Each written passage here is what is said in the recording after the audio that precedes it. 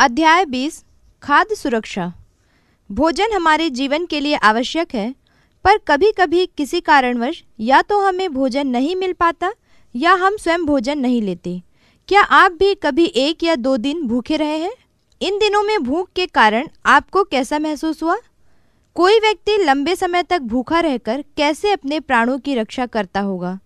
जरा इन बातों पर विचार कीजिए कि किन किन कारणों से कोई व्यक्ति या उसके परिवार वालों को भूखा रहना पड़ता होगा। इन सब बातों पर आप अपने शिक्षक से चर्चा करें। आइए, हम कुछ स्थितियों का अध्ययन करते हैं। मध्य प्रदेश के सूखे की तस्वीर। लगभग 80 वर्ष पूर्व, मध्य प्रदेश के पश्चिमी निमाड़ क्षेत्र में भयंकर अकाल पड़ा। उस स्थिति में लोगों ने इसका सामना कैसे किया? एक शाला के बच्चों द्वारा अपने बड़े बुज़ुर्गों से उनके अनुभव पूछे गए। और उसका दस्तावेजीकरण किया गया। उसका एक दृश्य नीचे प्रस्तुत है। अकाल में कुछ नहीं पका, जिसको जो मिला वह खा जाता था। पेड़ की पत्ती, छाल, किसी भी चीज़ को पीसकर खा जाते थे। अकाल के समय जंगल की भाजी भी नहीं मिलती थी। अनाज बहुत महँगा था। पहले एक रुपए का पाँच किलो अनाज मिलता था, मगर अकाल में पाँच रुपए का एक किलो भी मिलना कठिन था। इसलिए लोग ज्वार की राबड़ी पीते थे राबड़ी ज्वार को पानी में घोलकर उबालकर बनाई जाती है। अनाज की कमी के कारण यह राबड़ी इतनी पतली बनाते थे कि जब थाली में लेकर इसे पीने बैठते थे तो घर की छत के डांडों की परछाई उसमें दिखाई देती थी। पेड़ों के तनों के छिलकों को बाजरे के साथ पीसकर रोटी बनाकर खाते थे। अनाज बहुत महँगा था। एक मुट्ठी दाना और मटका भर पानी पीकर जिए। पेड़ के सभी भाग को खाया, मिट्टी भी खाई। बंगाल के अकाल की तस्वीर। वर्ष 1943 में बंगाल में आए भयंकर अकाल से लगभग 30 लाख लोगों की मृत्यु हुई। अनाजों के उत्पादन में थोड़ी सी कमी से इस अकाल की शुरुआत हुई। अनाज उत्पादन की थोड़ी कमी ने ऐसा दुष्चक्र बनाया कि भयंकर अकाल का रूप ले लिया। खराब मौसम के कारण अनाजों के उत्पादन में थोड़ी गिरावट आई। विदेशों से भी अनाजों का आयात प्रभावित हुआ। अनाजों की थोड़ी कमी से व्यापारी वर्ग द्वारा जमाखोरी की जाने लगी, जिससे अनाजों की कीमतों में वृद्धि होनी शुरू हो गई। कृषक वर्ग द्वारा भी अपनी खाद्यान्न आवश्यकताओं एवं बचाव को देखते हुए अनाजों को बाज़ार में बेचना काफ़ी कम कर दिया, जिससे पुनः अनाजों की कीमतों में तेज़ी से वृद्धि होने लगी। वहीं सरकार द्वारा भी जमाखोरी, मूल्य वृद्धि रोकने व खाद्यान्न आपूर्ति बढ़ाने पर कोई प्रयास नहीं किया गया। परिणाम स्वरूप अनाजों की कीमतों में बेतहाशा वृद्धि होने लगी। इन आसमान छूती कीमतों पर गरीब वर्ग का कुछ समूह, जैसे दैनिक मजदूर, मछुआरे, बढ़ई, सामान ढोने वाले आदि अनाजों की पहुँच से अपनी कम आय के कारण दूर होते गए और अंत में वृहद पैमाने पर भूख से मरने का मंजर शुरू हो गया। दीर्घकालीन अदृश्य भूख। चित्र क्रमांक बीस दशमलव तीन के तस्वीरों को देखने से हमें ऐसा लगता है कि ये सभी लोग स्वस्थ हैं, परंतु ऐसा नहीं है। वास्तव में ये लोग भी कुपोषण के शिकार हैं। ऐसे लोगों की तादाद बहुत ज़्यादा है। ऐसे लोग शारीरिक रूप से तो लगभग सामान्य दिखते हैं, परंतु आंतरिक रूप से कमज़ोर रहते हैं। वास्तव में ये अदृश्य भूख के शिकार हैं। ऐसा नहीं कि ये लोग भोजन नहीं करते अपितु अपनी अल्प आय और गरीबी के कारण हर रोज पर्याप्त मात्रा में भोजन नहीं ले पाते। अपर्याप्त भोजन लेने की स्थिति यदि लंबे समय तक चलती है तो दीर्घकालीन भूख की स्थिति बन जाती है, जो कि इनके स्वास्थ्य के लिए बेहद खतरनाक है। यह स्थिति पोषण सर्वेक्षण से समझ में आती है, जिसके बारे में आप इस अध्याय में आगे पढ़ेंगे। क्या है खाद्य सुरक्षा? उपर्युक्त दी गई तीन घटनाएँ भूख से पीड़ित लोगों की व्यथा व्यक्त कर रही हैं। खाद्य सुरक्षा की अवधारणा इसी संदर्भ पर आधारित है। किसी भी इंसान को जीवित रहने के लिए जितनी वायु व जल की आवश्यकता होती है, उतना ही उसे भोजन की भी आवश्यकता है।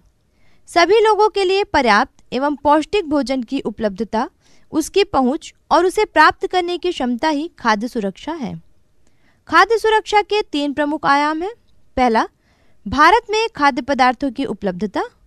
दूसरा, सरकारी योजनाओं द्वारा खाद्य पदार्थों की पहुँच। तीसरा, बाज़ार और क्रय शक्ति। भारत में खाद्य सुरक्षा सुनिश्चित करने के लिए वर्ष 2013 में भारत सरकार द्वारा खाद्य सुरक्षा कानून बनाया गया, जिसे खाद्य का अधिकार कानून भी कहा जाता है। यह कानून देश के अधिकांश लोगों पर लागू होता है जिसके अंतर्गत पात्र परिवार को प्रत्येक महीने रियायत मूल्य पर खाद्यान्न उपलब्ध कराया जाता है। हमारे छत्तीसगढ़ राज्य में लोगों को खाद्यान्नों की पर्याप्त मात्रा उपलब्ध कराने के उद्देश्य से छत्तीसगढ़ खाद्य सुरक्षा अधिनियम 2012 पारित किया गया, जिसमें कहा गया है कि यह राज्य के निवासियों के लिए खाद्यान्न की पर्याप्त मात्रा तथा अक्षय आहार की अन्य आवश्यकताओं की पहुँच सुनिश्चित कराते हुए उन्हें सम्मानजनक जीवन यापन करने के लिए सदैव उचित मूल्य पर खाद्य तथा आहार सुरक्षा उपलब्ध कराने एवं उससे संबंधित अथवा अनुषांगिक विषयों हेतु अधिनियम है। भारत में खाद्य पदार्थों की उपलब्धता। खाद्यान्नों की पर्याप्त उपलब्धता से ही खाद्य सुरक्षा के उद्देश्यों को पूरा किया जा सकता है। खाद्यान्नों की उपलब्धता का संबंध सभी प्रकार के अनाजों जैसे गेहूँ, चावल दलहन तिलहन तथा मोटे अनाज आदि से है। विगत पाँच दशकों में विभिन्न योजनाओं के क्रियान्वयन के प्रयास के फलस्वरूप देश के खाद्यान्न उत्पादन में काफ़ी वृद्धि हुई है। आज़ादी के समय से अब तक खाद्यान्न उत्पादन में लगभग चार गुने से ज़्यादा की वृद्धि हुई है। इसे हम अग्रांकित सारणी से समझ सकते हैं। उपर्युक्त आंकड़ों को देखने से ज्ञात होता है कि आज़ादी के समय हमारा देश गंभीर खाद्य संकट से गुजर रहा था। उस समय खाद्य आपूर्ति को बनाए रखने के लिए सरकार को विदेशों से 4.8 मिलियन टन अनाज आयात करना पड़ा। बाद में कुछ वर्षों में जनसंख्या वृद्धि के साथ साथ खाद्यान्न उत्पादन में भी वृद्धि हुई। फिर भी खाद्य आपूर्ति बनाए रखने के लिए सरकार को कुछ खाद्यान्न आयात करना ही पड़ा। सत्तर के दशक के बाद अनाजों के उत्पादन में तेज़ी से वृद्धि होने लगी। जिससे आत्मनिर्भरता बढ़ी और खाद्यान्नों के आयात में भी कमी होने लगी। आज़ादी के समय सभी अनाजों जैसे गेहूँ, चावल दलहन तिलहन एवं मोटे अनाजों की कमी थी।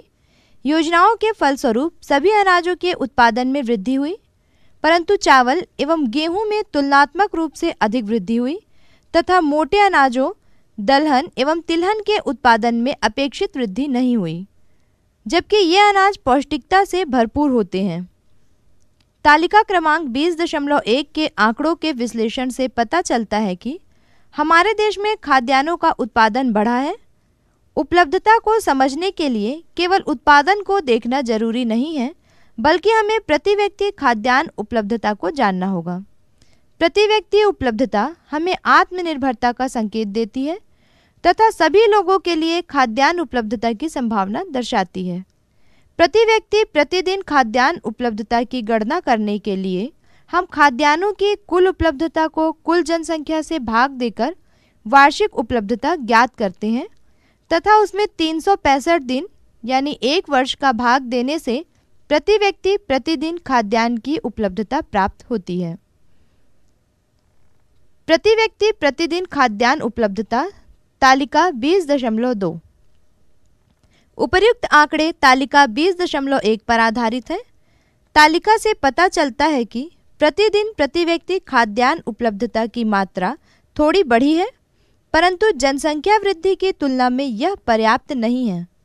हमें केवल अनाजों के सेवन से ही पर्याप्त पोषक तत्व प्राप्त नहीं होते, अपितु हम फल, सब्ज़ी, दूध, मांस, अंडा आदि से भी अपनी खाद्य आवश्यकताओं की पूर्ति कर सकते हैं। इन पदार्थों का सेवन संतुलित आहार की दृष्टि से एक अच्छा संकेत है।